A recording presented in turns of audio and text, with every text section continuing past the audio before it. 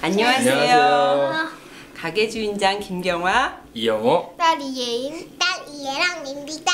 만나서, 반갑습니다.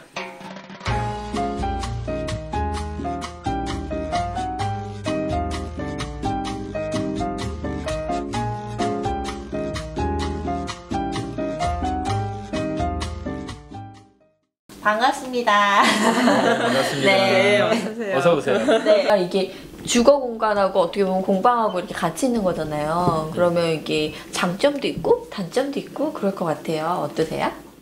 저희 이름이 속곱이잖아요. 네. 그 속곱이 우리 어릴 때 하던 놀이 속곱놀이 그 의미도 있는 건데 아, 속곱놀이가 결국에는 놀이이기는 하지만 음.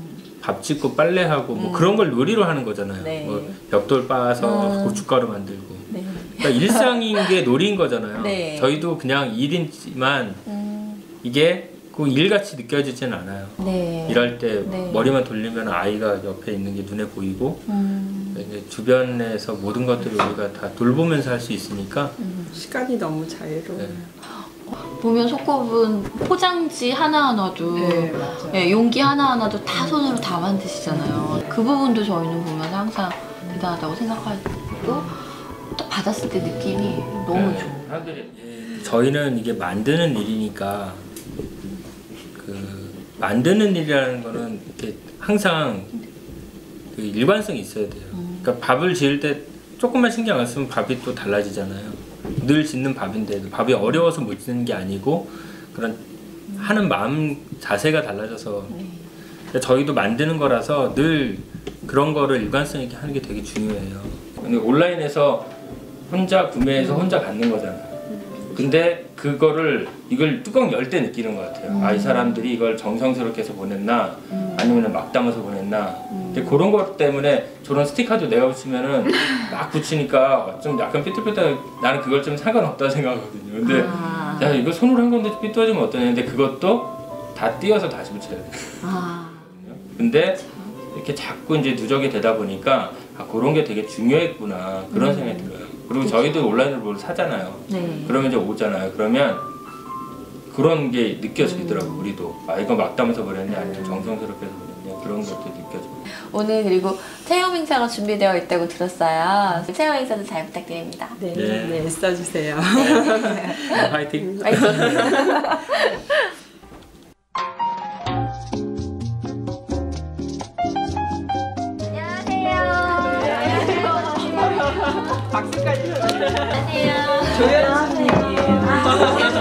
비누 우리 말일까요? 비누는 우리 말 맞습니다. 함께 가죠. 것 같지만 어떻게 보면 굉장히 뭐 엄마들이 하는 거랑 비슷한 거예요. 뭐 비누 분자는 독특한 구조를 가지고. 그 면이 딱 붙어있던 면이 딱 떨어져 이렇게 부착돼 있어요. 그냥 인사하 고 이거 나무예요. 잘 먹겠습니다. 잘 먹겠습니다. 아, 그, 그 다음에 뭐, 저기, 손.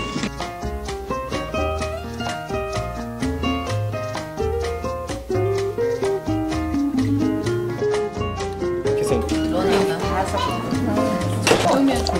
아니요 비늘은 비늘은 빼죠. 칼 있잖아요. 그 원리는.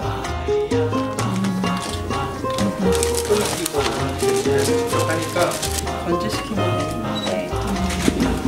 이제 끝입니다.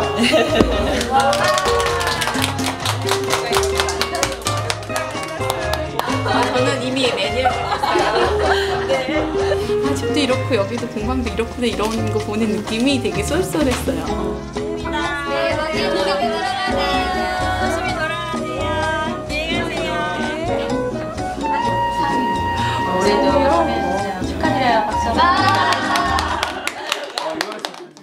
3위, 3위를 뽑아주셔서 너무 감사드립니다. 아, 축하드립니다. 어, 초심을 잃지 않고 항상 한결같은 마음으로 음, 그런 마음의 자세로 열심히 속고 비누를 만들겠습니다. 저희는 이렇게 그냥 우리가 그대로 할머니 할아버지가 되는 걸 상상해요. 머리가 하얘져서도 여기서 계속 비누를 하고 있다면 참 여한이 없겠다.